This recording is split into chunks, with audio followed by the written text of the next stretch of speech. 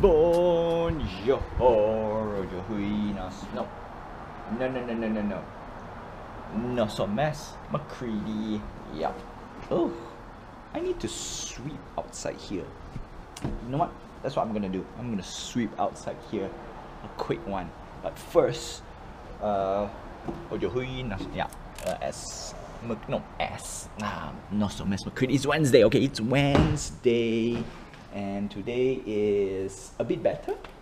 I'm a little bit happier today because I did some game development. It is nice, it is good, simple update. I also sent my first job application. That is a huge thing as well. Right, it is important, right? It is. But like I said, some of the things I would share.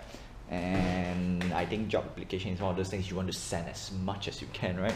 So one step into the uh, how job finding, job find. Okay, I don't know what's the correct word, right? Job hunting. Yeah, no. So basically, send as much as I can and then hope something catch. Simple as that. Also, I need to clean up a little bit. Did my Yep, definitely want to clean a little bit and I think I have not showcased any of my, not say showcase, recap on what I have in my storeroom which is a little bit sad because I'm a little bit busy so certain things I don't have the luxury. Time is a luxury, okay? No matter how I see it or no matter how you see it, I got things that I want to do uh, unfortunately that requires me hiring people and I need to hire people if I want to do more truth to be told, okay, like game development, I will reach to a point, alright? This is, right now it's bearable because it is easier to do, but I'll reach a point where I need to hire people already, or at least a small team. Actually, I went to the storeroom to grab a broom. Anyway, so that being said, that's the main highlight for today. Now, before I end the vlog, obviously I want to clean the, what do you call this? uh, balcony but tomorrow there is a drop okay? It is green lantern. It is not a must-have okay? The cool part is it's not a must-have. So i'm not so worried about it.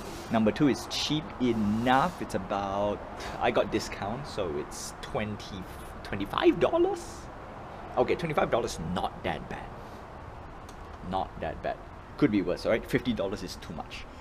$30 was uh, is the retail. I got $5 discount so I think it's okay-ish. Now this is critical. The reason why I want to put this today is that because I am unemployed so a lot of things I cannot do anymore.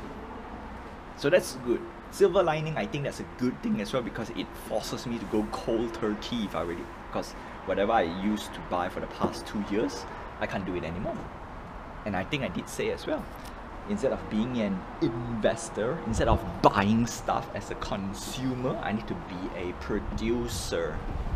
That's how it is. So I think it's a good, good year this year. And talking about that, usually I have a team for the years.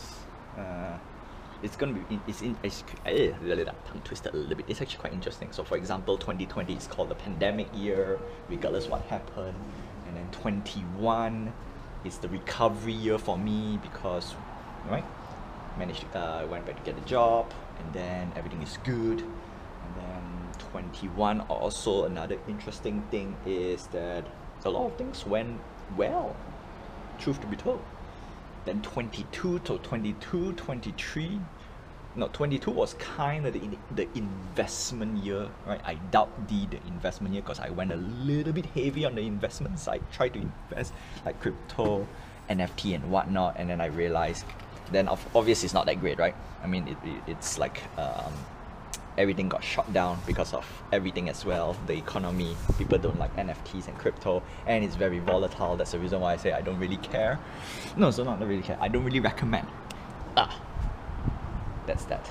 So this year, I need to find a nice team for this year because time is up. I don't want to go above five minutes.